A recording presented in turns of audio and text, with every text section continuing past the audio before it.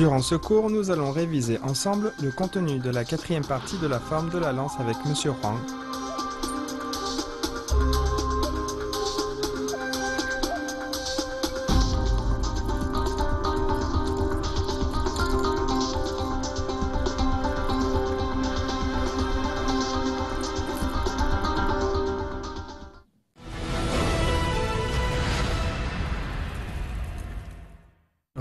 Et ouvrir avec la lance. On recule le pied gauche et on ouvre avec la lance devant. Puis on recule le pied droit et en même temps on place la lance au-dessus de la tête.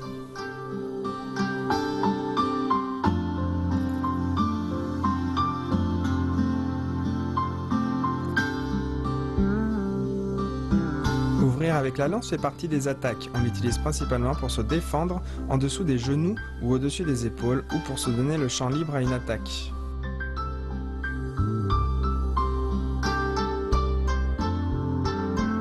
Pour forme en position du petit T.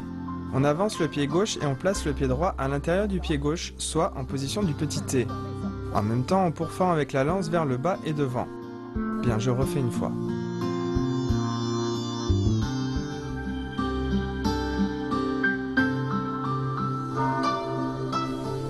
Attention, lors de pourfendre en position du petit T, il faut pourfendre avec force, force qui doit atteindre la pointe.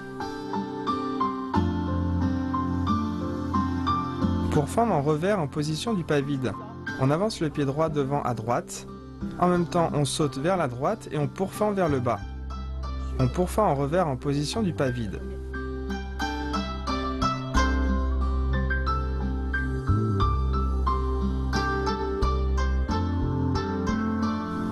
La main est orientée vers le haut et on pourfend en revers, c'est-à-dire en partant de l'intérieur.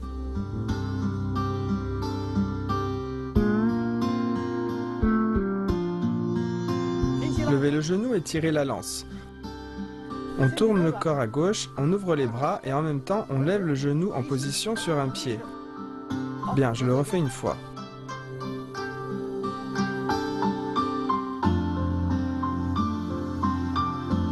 Lorsqu'on est en position sur un pied, il faut bien stabiliser l'équilibre.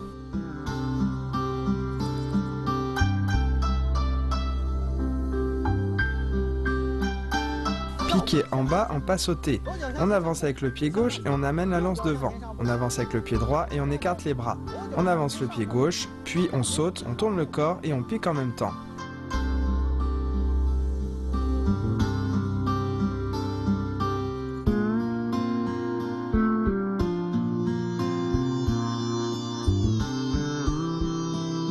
Lors de la pratique de ce mouvement, il faut bien garder l'équilibre.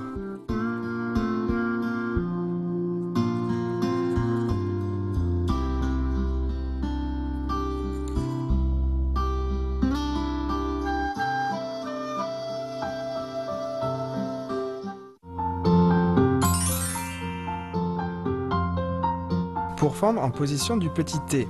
Lorsqu'on pourfend en position du petit T, le bras gauche ne doit pas être trop plié. Il doit rester quasiment tendu, légèrement plié.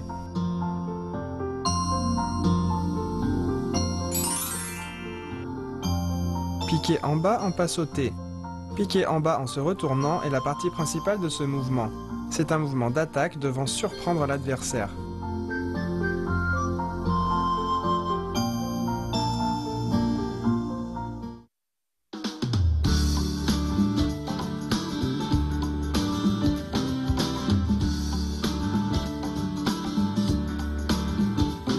La pratique individuelle de la lance, on peut également pratiquer avec des partenaires utilisant d'autres armes.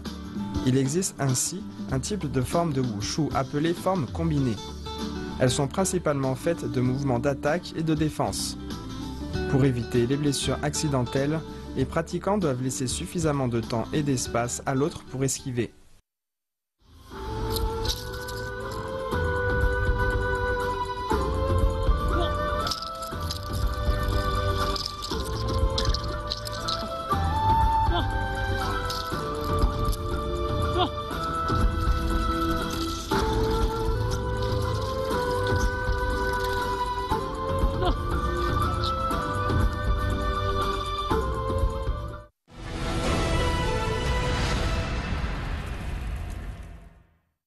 Et tournoyer.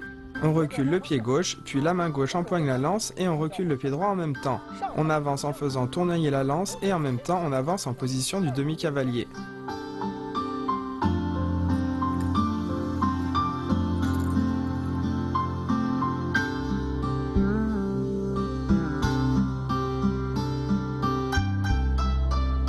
Attention, lors du tournoiement, il se fait au-dessus de la tête, on l'appelle aussi nuage.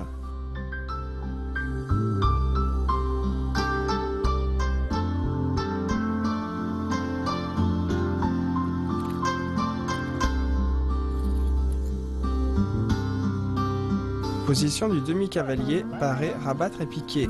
On barre, on rabat et on pique en position de l'arc.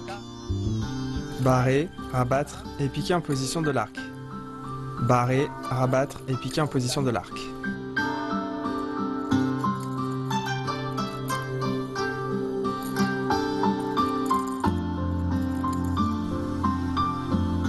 Position du demi-cavalier, barrer, rabattre et piquer. On le fait trois fois en tout.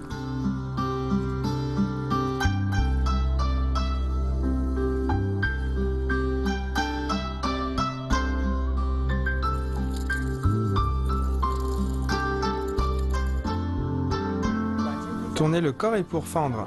On tire la lance vers soi, on tourne le corps à droite et on pique vers le bas à droite. En même temps, on crochette le pied gauche sur l'autre jambe. Puis on pose le pied gauche à l'arrière et on pique vers le haut de manière oblique. Bien, je le refais une fois.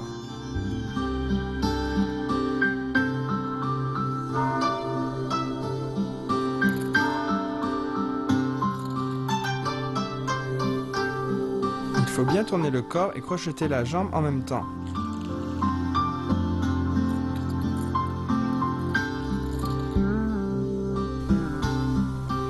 Fermeture. On transfère le poids du corps sur la jambe gauche, on amène le manche vers l'avant et la pointe vers l'arrière. Puis on lève la jambe droite et on recule. On pose le manche au sol, en même temps le pied gauche rejoint l'autre pied et on pousse avec la paume vers la gauche. À la fin, on joint les pieds devant et on ferme la forme. Bien, je le refais une fois, regardez bien.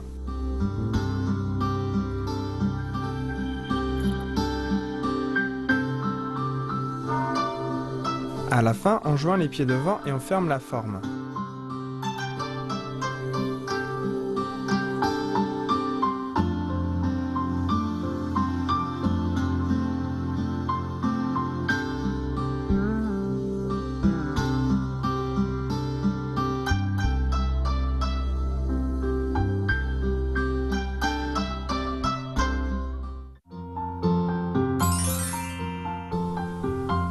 Tourner le corps est pour fendre. Quand on pique, on doit bien piquer en haut de manière oblique. Quand on tourne le corps et qu'on crochette la jambe, il faut faire bien attention à garder l'équilibre. Fermeture. La fermeture est le dernier mouvement de la forme de la lance. Le regard doit bien suivre la lance quand on vient la poser au sol.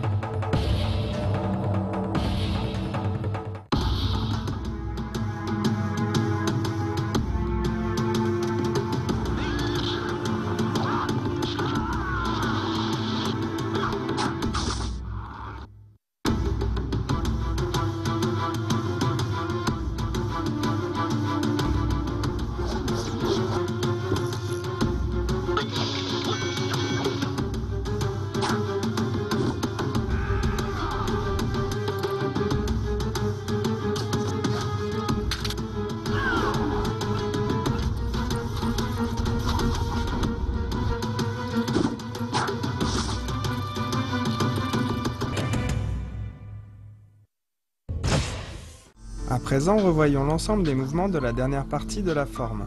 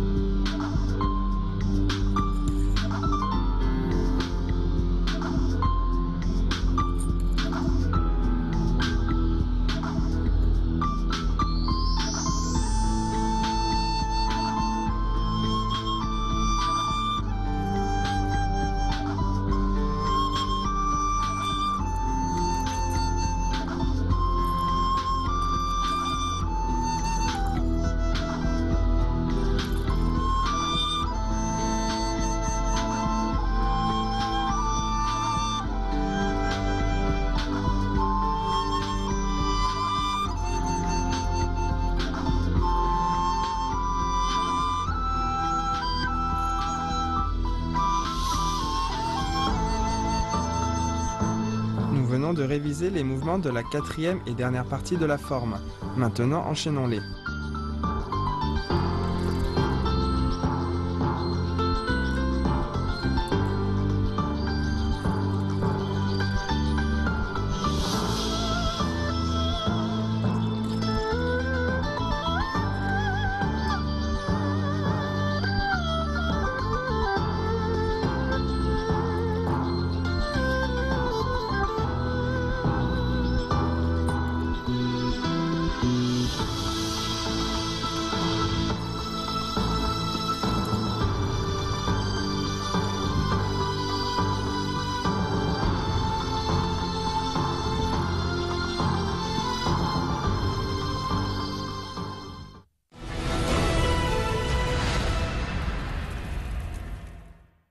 Chers téléspectateurs, nos cours sur la forme de la lance prennent fin.